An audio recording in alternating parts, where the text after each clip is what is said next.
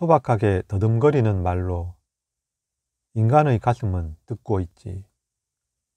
허무에 대해 세계를 새롭게 하는 힘인 허무.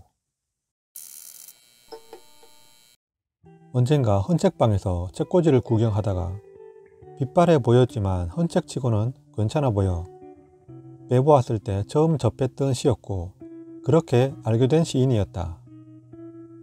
세계를 새롭게 하는 힘인 허무라는 표현이 좋았다.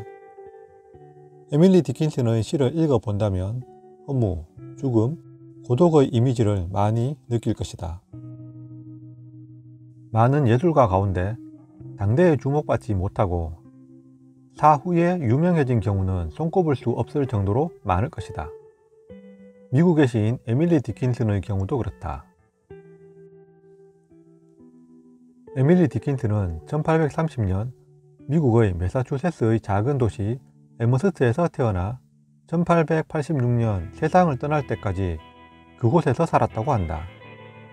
24살 무렵에는 가족들에게 나에게 무슨 큰 일이 생기지 않는 한 절대로 집을 떠나지 않겠다고 선언했을 만큼 외출을 삼가하고 외부인을 만나지 않으며 집에서 약 1800여 편의 시를 썼지만 생전에 발표했던 시는 지역신문에 실린 7편에 불과했고 시집은 출간하지 않았다. 미국 메사추세츠주에 있는 그녀의 생가는 박물관으로 꾸며져 있다.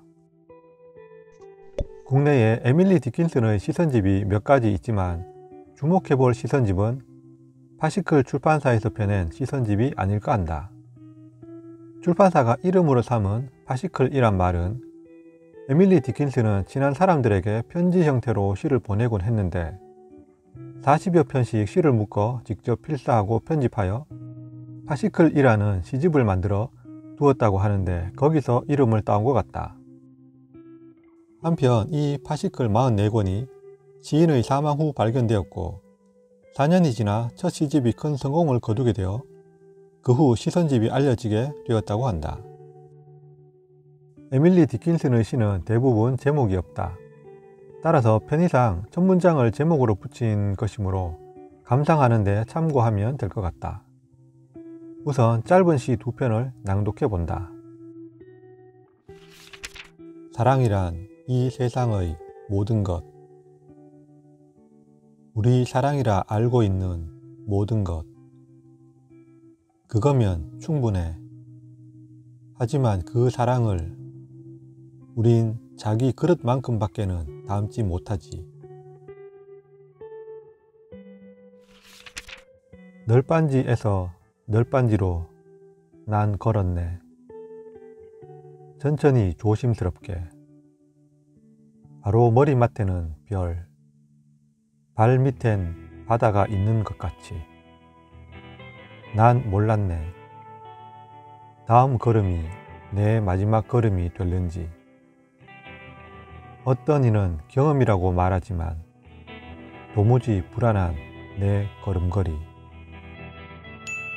한편 에밀리 디킨슨에 관한 영화가 2017년에 국내에 개봉된 적이 있다. 영화를 보지 않아 뭐라 이야기하긴 어렵지만 시인에 관한 영화를 보면 시를 이해하는데 도움이 될 것 같다. 영화의 한 장면 가운데 출판사 측에서 구두점을 바꾼 것에 대해 항의하는 장면이 나오는 걸 볼 수 있는데 에밀리는 견디기 힘든 일이라고 하는 장면을 찾아볼 수 있었다.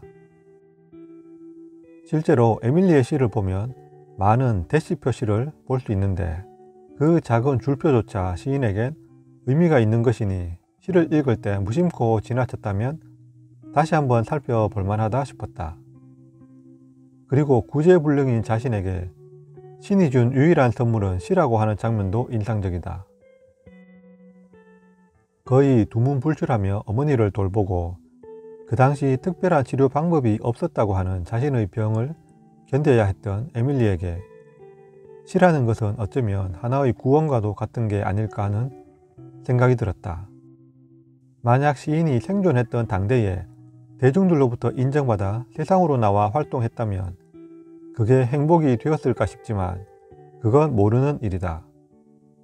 존머시 이야기를 쓴 쥐스킨트나 오밀바테 파수꾼의 셀린저처럼 자발적 은둔자들도 있으니까 말이다. 그들을 세상으로 불러내는 건 폭력에 가까운 일일 것이다. 포스트잇을 붙여두었던 시를 몇 편 더 낭독해 보며 영상을 마친다. 길 위에 홀로 뒹구는 하찮은 돌멩이들은 얼마나 행복할까. 성공을 걱정하지도 않으며 위기를 결코 두려워하지도 않으며 그의 코트는 자연의 갈색 우주가 지나가며 걸쳐준 것 태양처럼 자유로이 결합하고 또는 홀로 빛나며 덧없이 꾸밈 없이 절대적인 신의 섭리를 지키며 내 죽어서 웅웅대는 한 마리 파리 소리를 들었네. 방 안에는 고요. 마치 끌어대는 폭풍 사이 허공의 고요와도 같이 사방에서 눈들은 싸늘하게 비틀어대며 숨결은 죽음의 왕이 지켜볼 마지막 한순간을 위해 굳어지며 방 안에서 난 내 유물들을 나누어 주었네. 양도할 내 몫에 사인하여 그러자 거기 날아드는 파리 한 마리 우수에 잠겨 불확실하게 비틀비틀 웅웅대며 빛과 나 사이에서 이윽고 창은 닫히고 이윽고 아무것도 난 볼 수 없었네. 크나큰 고통이 지난 뒤엔 의식처럼 찾아오는 느낌.